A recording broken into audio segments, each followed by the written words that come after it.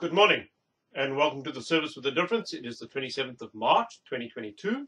It is the fourth Sunday of Lent, and we are looking during this season of Lent at how our soul is, is like a greenhouse, and we need to invite God to come in to help us clean the windows so that His light can come in and give heat and give light to, to the soil and the plants that are in the greenhouse. We, we are asking God to help us um, mix the ground, restore the nutrients, and just turn the soil so that the, the garden of our soul can grow into, into the Garden of Eden in this greenhouse. And today we are looking at how, um, even though God doesn't mess up our garden, it is God who comes into the greenhouse of our soul when we invite Him in, and and He fixes, He helps us work the garden, and He helps us make it the Garden of Eden.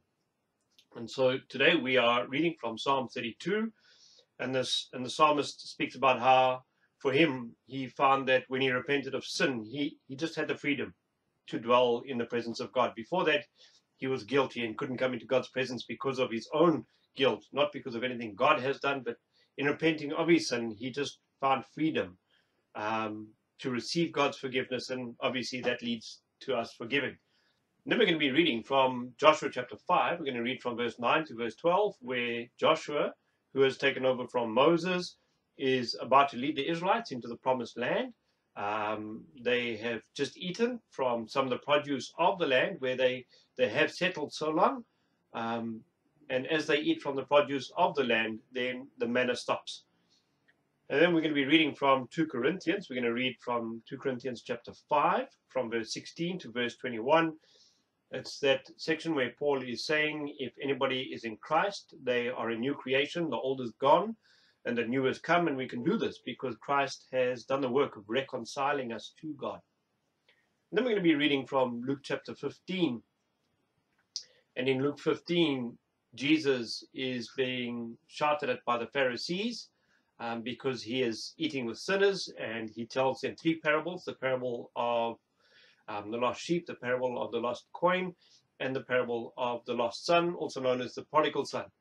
Um, and today's focus is on the parable of the prodigal son. And again, I'm going to ask that you put this on pause as you read through those readings. And as we read through them, we give God thanks for them. And we pray that He will bless them to us as we reflect on them in, in this moment. As I said earlier, Lent is that season in which we allow God to search our hearts um, bring his light in, shine it into all the dark corners, um, help us turn the soil, help us work the ground, um, help us add the right nutrients so that the gardens that are in the greenhouse of our soul can can grow um, and become like the Garden of Eden. But when we invite God into our hearts, when we say, God, you know what, come and search me, we ask Him to come and lead us, we ask Him to come and guide us, you know, we, we ask Him to come and be a part of our life, be that part of our life that is our passion and our drive and and our reason for living, it, it can be a very scary prospect for many of us. You know, it's tough enough to to to let a heart surgeon go to work um, on our body. How much harder is it? How much more challenging is it to to let the great surgeon go to go to work on those areas of our life that we are incredibly defensive about? As we read from Joshua, we're reading the story of the Israelites who have been running around the desert for the 40 years. And they've been running around the desert for 40 years because they, you know, they're not obedient to God. They, they wanted to decide for themselves what was right, what was wrong. Um, they believed they knew better than God. God said go, and they said no, we're not ready to go. So God said, well, we're going to walk around until you you trust me, until you believe you are ready to go. And now, 40 years later, um, they realize that this whole time they were the only ones who thought they were right, um, and that we call self-righteousness. And and God has had to wait for these people, for the Israelites as a whole, to to recognize their sin and to and to realize that they didn't know better than God. Um, that that what God had said, God would have come through with, um, and so so He's had to wait for them to recognize their sin because it's only when we recognize our sin that we, we can repent of our sin. Um, and it's only when we repent of our sin that we're saying we want to try to do it differently. And so he, he has had to wait for them to, to recognize that they have been doing it their own way in opposition to God. Um, and as they repent of that, they are saying, God, let us help us to do it your way. God, help us to do it your way. And so God says that's fine, and God makes peace with them, and God says, let's renew the covenant that we have between us, and God leads them into the promised land. Um, and I want to say the similarity in this in the parable that Jesus tells in Luke of the lost son or the prodigal son and, and the people of Israel is that both Israel and the son are wandering around in the wilderness because they both thought that they knew better than God. And God renews with both of them the covenant that he, he makes with them, and they are blessed within that covenant. And we come to understand through these stories that that reconciliation is an ongoing event. It's not a once-off thing, but it's an ongoing event. And so the covenant is restored, and and there is a celebration, and there is a move from from manna to unleavened bread. There is a move from manna to to roasted grain. There is a move from survival to settled. Um, no longer do the Israelites believe they're an extension of the Egyptians, but they believe they are the people of God, and they are settling in the land that God has promised to them. And so Jesus, as he, he tells this parable, he is telling that story of how we move away from God, um, recognize our need for God, return to God, God makes peace with us, and God restores his covenant with us. And we are no longer just surviving as we are outside of God, but we are living within the glory and, and the presence of God. And so as he tells this parable, he is he is telling it to a people of of a different context to to many of us. Um, Jesus is being questioned by the Pharisees because he is eating with sinners, and obviously in the story that Jesus tells, um, the Pharisees are represented by the older brother, those who are self-righteous, and the sinners are represented by the younger brother, those who are unrighteous. And so Jesus is being questioned by the Pharisees, and his response to them in, in this conversation is he tells them the story of the lost sheep. He tells them the story of the lost coin. He tells them the story of the lost son. And, and obviously, in these stories, um, they are all kingdom of God stories. So they speak about the kingdom of God. And in all of these stories, these stories are not about the sheep. The story is not about the coin. The story is not about the son. The story is rather about the shepherd and about the, the lady who is searching for a coin. The story is about the father who is searching and waiting and longing and protecting his son. And so the story of the prodigal son itself, specifically, is a story of a father who is trying to reconcile everybody so that this family can survive. And, and it's a story of a father who is rejected by his children. The family has been split apart because the one son is asking for his inheritance. And when he asks for his inheritance, he is applying that to him the father is already dead. And, and the father foolishly gives in to, to the son. You know, it's kind of like giving a 20 year old a Ferrari, um, telling him not to speed. Obviously, the son is going to go and waste whatever the father has given him. Um, and there may have been certain conditions for the son to have received the inheritance before the father died um, that, that would have been acceptable, but, but, but definitely not when that inheritance was going to be squandered. Um, and, and especially when that inheritance was going to be squandered amongst the Gentiles. Because at least if he squanders it amongst the Jews, come the Jubilee, there's a possibility that the father might get the land back, the family might get the land back. But when it goes to the Gentiles, then nothing is is coming back to, to the family. It's it's gone forever. And so the younger son has said to the father, To me, you're dead, and I want my portion of the inheritance. And it, it's not much better for the older son because he sees the father's foolishness in giving the younger son what he gives to him, and he he does the same thing. To him, the father is also dead because he also receives his inheritance. He just does it silently. And so, in this world that they are living in, um, anything that affects a family obviously affects the village because you can't separate a family from a village in subsistent villages. And so, this family would have been shamed because the village would have been angry, and this village would have required the father to, to punish the son in order to maintain the social functioning that was considered right in, in Israel. And so in a society of honor and, and shame, for a wealthy family to be torn apart because of internal ructions, it would mean that that family was brought into disrepute. Um, and so they wouldn't be taken seriously in any of their dealings, in, in their business, in anything else. Um, and so they would lose their, their social standing. They would lose their political standing. They would even lose their, their economical standing because well, this is not the way things are, are done in Israel, and you are acting outside of how we do business, of how we live our lives. And so if you're going to act outside of that, then we want no part of you. And so in this story, the father has lost face and he will be shut out of village life. He will be shut out of village affairs. He will no longer have a voice at the gate of the village.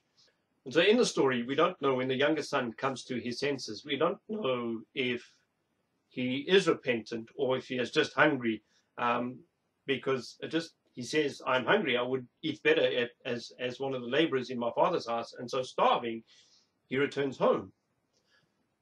And what should have happened is for the father to save save face the father would would have to beat his son when his son returns home. And then he would would, would appease the villagers by offering them his son to beat as well.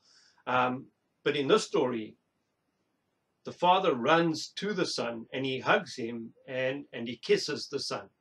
Um, and so, again, the father is foolish according to the standards of Israel at the time. The father is foolish according to the standards of this world because in, in this society, um, men of stature, old men of stature, don't run. They don't show their ankles because that means that they have no control over their emotions and over themselves because they shouldn't be running. Everybody should be coming to meet them. Um, and so an old man of stature in, in the society doesn't run to meet anyone except in an emergency. And, and it turns out that this is an, an emergency because if the villagers got to the son first, they, they would have beaten him. And so with all of his effort, this father runs and he kisses and he embraces his son. And this is more of a sign of protection than it is of, of, of welcoming back because he, he embraces his son and he offers the villagers his back. He is saying, You can do nothing to my son. If you want to beat my son, you will have to beat my back. And so he offers them his back as he embraces his son as, as a sign of protection. And, and then he gives him a robe and he gives him a ring as a sign of authority because he's accepted him back as a son, not as a servant. And so the father doesn't disown the son. The father has never disowned the son but he reconciles the son to himself and he reconciles him to himself without beating because God doesn't need to bully us as he reconciles us back to himself. And he, and he, and he reconciles his son to himself at the expense of himself because in reconciling his son to himself in the way that he has, this father has once again brought shame on himself. After the father has done this, he, he reconciles the village to, to the family. And he does this by, by throwing a welcome party, by, by slaughtering the fattened calf. And they, they must have been content and accepted the father's offer because they came to the party. But then the older brother is unhappy. Um, he is supposed to welcome the guest. He is the one who is supposed to supervise the entertainment, but he, he even refuses to enter into the house in order to reconcile with his brother. And again, in the story, the father shames himself for the sake of the self-righteous brother because he begs the older son to enter into the house. He begs the older son to reconcile instead of ordering the son to, to come in and do what he has told him to do. And so this is the context behind the story that, that Jesus tells. And out of all the parables that Jesus tells, this one would, would most closely summarize the story of the purpose of Christ and why Christ came as man. Because let me tell you another story. There was this father, and, and we can call this father God. And this father had two children, and we can call those two children we, we and us. Now, one day, we came to God and we asked God for our inheritance. You know, our father had given us everything we could ever need or want, but we asked for our inheritance so that we would have the freedom to choose our own way um, so that we would have the freedom to choose between what is good and evil. And so we took our inheritance, and our inheritance is our life, the life that God had given to us. And we lived our life as if God were dead. And so our family has become fragmented, and, and, and it is so fragmented in many cases, we, we are not even able to acknowledge our brothers and our sisters, let alone talk to our brothers and our sisters. And so we gave that most precious of gifts away as if it were nothing, as if it cost nothing, as if as if it held no, no value. We squandered that which was the very purpose of creation for something as temporary as sin, just because we wanted to satisfy our, our sinful nature, our selfish nature, our rebellious nature. And so when we realized that a little bit of life with God was better than a whole lot of life without God, we returned to God, only, only to find that God was not only waiting for us, but God had been running to greet us, and He was running to greet us with a hug and a kiss. God had shamed Himself on the cross because it was thought that the village, and, and, and let's call the village death, it had, it had been thought that the village had the victory over the Father's children. Um, and it was Christ's death that paid the price that was owed to the villagers. We, we didn't suffer at the hands of death because Christ, as, as the fattened calf, reconciled us to God. God. God ran to meet us. God, God embraced us, and God offered the village his back so that the village couldn't beat us. Christ defeated death so that death could not defeat us. And the story continues though, because we are also the older brother and we are not happy with the fact that we are accepted by God. We don't think that Christ's forgiveness is good enough for us or good enough for, for others. We, we can't accept that others can be forgiven by God. And we're not even sure that we can be forgiven by God. And so as Jesus tells this, this parable, it is a story about God trying to rescue the weak. It is a story about God trying to rescue the lost. It's a story of God trying to reconcile us with himself and with others.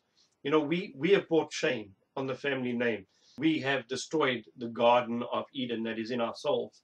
And it is God who makes right what he did not break. It is God who comes in and helps us rebuild this garden of Eden that, that is meant to be in, in our souls, this garden that we have long let be grown over by what we thought was good, but turned out to be evil.